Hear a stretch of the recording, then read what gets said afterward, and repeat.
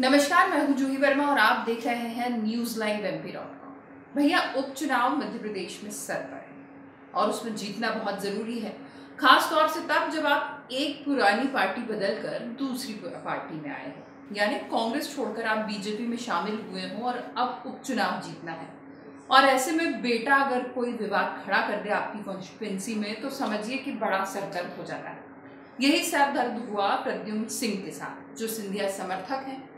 और अब उन्हें उपचुनाव लड़कर जीतना है, सदन में पहुँचना है और फिर मंत्री भी बनना है। ऐसे में उनके बेटे का एक वीडियो वायरल हुआ जिसमें वो पुलिस वाले से काफ़ी विवाद करता हुआ दिखाई दिया।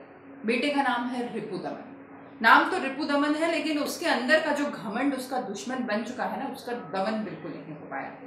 वैसे तो प्रद्युम्न सिंह ने जाकर वहाँ माफ़ी मांगी, चालान भी कटवाया, लेकिन इतने से वो बिल्कुल खुश नहीं उन्होंने तय किया कि बेटे को अभी और सबक सिखाया जाना ज़रूरी है।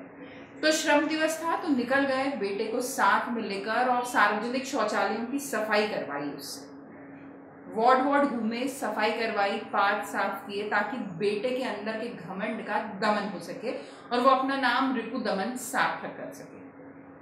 वैसे तो खुद प्रद्युम्न सिंह इसके लिए काफ़ी फ़ेमस हैं। वो पहले भी उनके इस तरह के वीडियो काफ़ी आम हो चुके हैं साफ़ सफ़ाई करते हुए। लेकिन बेटे को ये मौका पहली बार मिला कि उसे लेकर गए और श्रम दिवस के दिन बकायदा मजदूरों की तरह उससे काम कराया। आप भी एक बार ये वीडियो ज़रूर देखें किस तरह मंत्री जी के साहबजादे शौचालयों की सफ़ाई कर रहे हैं।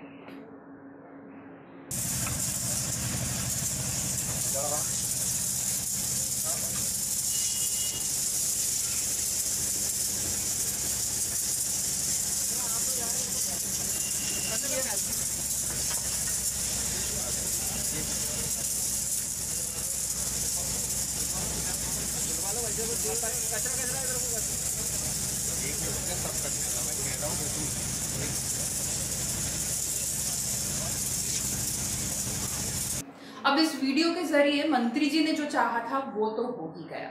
उनके पुराने सारी गलतियाँ मंत्री जी के बेटे की भी गलतियाँ भूलकर अब क्षेत्र में मंत्री जी की वाहवाही हो रही है। उनके इस आम आदमी के तरीके के जो कदम है, जो उनकी सहजता है, उसे देखकर लोग उनकी सराहना कर रहे हैं।